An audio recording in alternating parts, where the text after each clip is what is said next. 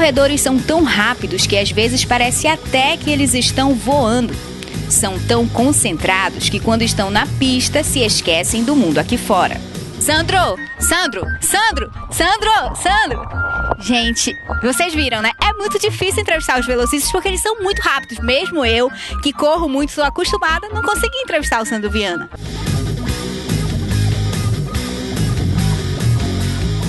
Mas isso tudo é foco. Afinal, no atletismo, qualquer milésimo faz toda a diferença principalmente na hora de conquistar uma vaga para as Olimpíadas. Esse é o caso do amazonense Sandro Viana, que já participou de duas, mas ainda sonha com um índice para os Jogos do Rio 2016.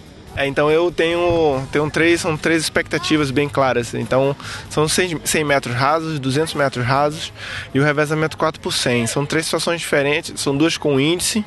É, nos 100 metros é a prova mais difícil para se obter o índice. Nenhum brasileiro tem índice ainda. É um tempo muito baixo. Apesar de eu ter um tempo bem mais baixo do que o índice, mas eu tenho que estar primeiro 100% em forma. E o 200 metros é uma prova que eu tenho que fazer na casa de 20 segundos e 50 centésimos.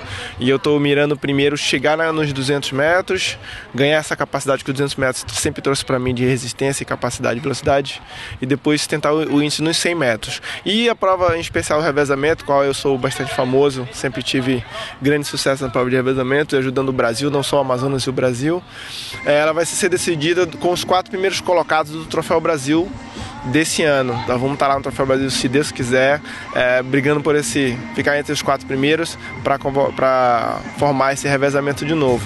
E quem sabe buscar essa única medalha que me falta. Quero dizer para os, amazonenses que eu não sumi, que eu não desisti e que principalmente eu não vou desistir. Estou aqui de novo, é, de peito aberto, com toda a coragem do mundo, 100% renovado, totalmente sarado, pronto para buscar mais essa vaga. E a bandeira do Amazonas está como sempre, na minha mochila, pronta para ser aberta e tremulada na hora dessa, de conquistar essa glória. Eu vou com tudo, sem medo, como um, um verdadeiro caboclo. E Seja o que Deus quiser, eu conto com todos vocês, com a torcida. Pense positivo que aqui eu vou estar sentindo, vou estar usando a nosso favor. Obrigado.